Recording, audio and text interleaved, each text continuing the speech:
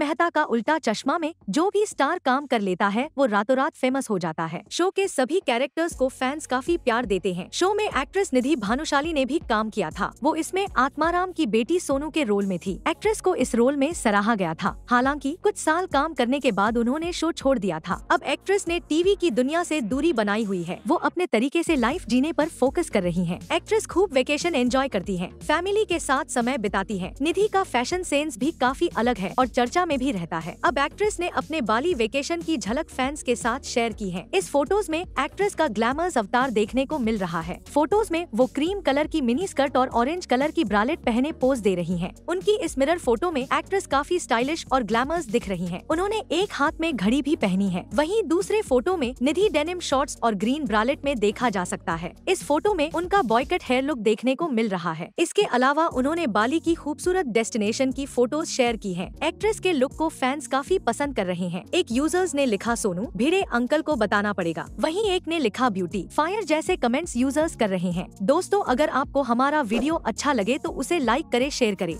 और ऐसी ही दिलचस्प जानकारी पाने के लिए हमारा चैनल फॉलो करें।